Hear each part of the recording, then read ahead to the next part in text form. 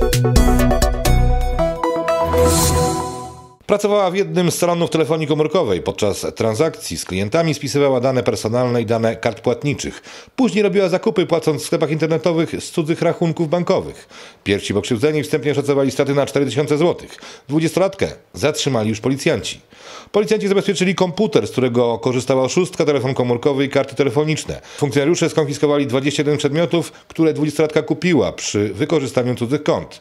Kobieta przyznała się do zarzucanych czynów i złożyła wyjaśnienia. Policjanci ustalają, ile osób mogło paść ofiarą oszustki. Pierwsi pokrzywdzeni wstępnie szacowali straty na 4000 zł. Za kradzież z włamaniem na konta Wałbrzyczanka może trafić za kraty na 10 lat.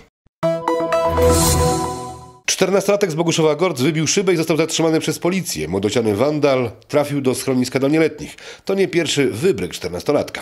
Policjanci udowodnili nieletniemu uszkodzenie przedniej szyby w jednym z zaparkowanych w Boguszowie Gorcach pojazdów. Stratę szacowano na 510 zł.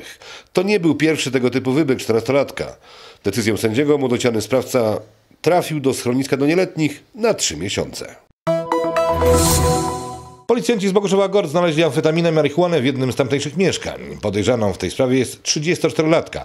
Wraz z nią w ręce policji wpadł jej partner. Okazało się, że był on poszukiwany listem gończym do odbycia kary więzienia.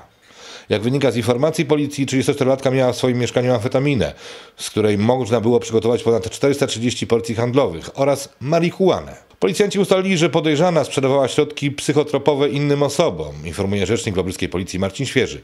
Wobec kobiety zastosowano dozór policyjny. Kobieta przyznała się do popełnionych czynów i stanie przed sądem. Grozi jej do 10 lat więzienia.